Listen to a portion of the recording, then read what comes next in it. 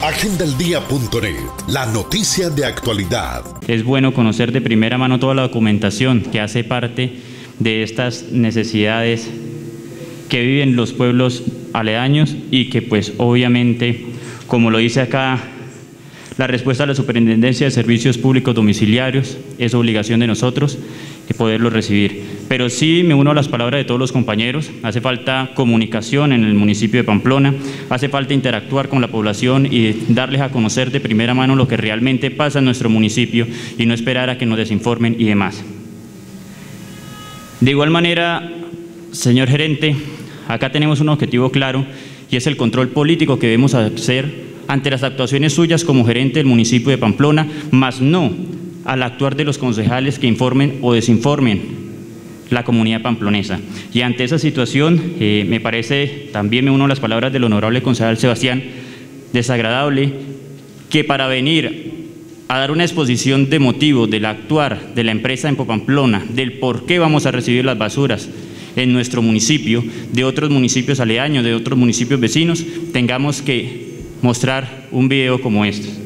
Intenté decírselo al oído, pero pues no se pudo dar la oportunidad y por eso lo hago mediante este medio. También quisiera decirle que nosotros debemos empezar a actuar en relación a que si bien es cierto tenemos dos años y ocho meses de garantía del relleno sanitario, debemos empezar a crear nuevas celdas o, por qué no, a trasladar eh, el basurero en nuestro municipio de Pamplona, generando una vía más útil y demás, garantizando la salud de todos los pamploneses.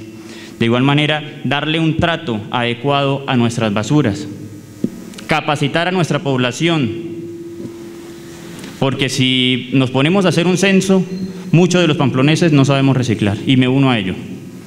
Por eso considero que es una obligación por parte de la empresa en Pamplona de capacitar a todos los pamploneses, de enseñarles a reciclar, de que juntos aportemos un granito de arena al tema ambiental, a la salud pública y al bienestar, ¿por qué no?, de nuestros animales. Hay una duda que me asalta y es en relación también al beneficio de todos los pamploneses.